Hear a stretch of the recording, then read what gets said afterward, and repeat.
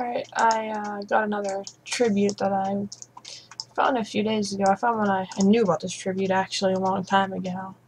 Um, but I decided not to get into it. Also, if you see my last video, it was about uh, the cool things around Karazhan. There's Morgan's Crypt, uh, the smiley face and thing underneath Karazhan.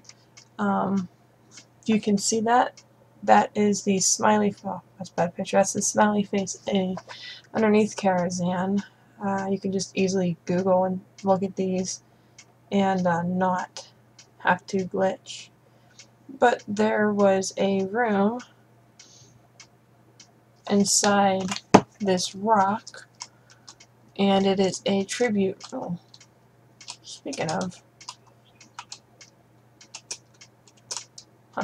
That's not how to get into it, but interesting. Um, there is a uh, room inside this rock. It is a tribute room. Let me actually... Uh, it's a tribute room for one of the uh, game developers. They, let's see. Requires a glitch, so obviously I'm not going to do that. Um, but it is, let's see, he, uh, I don't remember what, I don't remember too much about it. I remember, actually, I talked to a uh, GM about it, and I was like, uh, why is this open, why is it in here, and they were like, well, you're not supposed to be in there. It's a, uh, something for a tribute for one of the game masters, uh, let's see. But if you Google image search, you can find that is the uh, plaque that is inside of it. It just says WKM, and it has a little candle, and there is a huge hole. If you jump in it, it drops you out. Um, I'm not going to say how to glitch to get into it. It was not this rock. It was not this rock thing that I accidentally found. That is not it.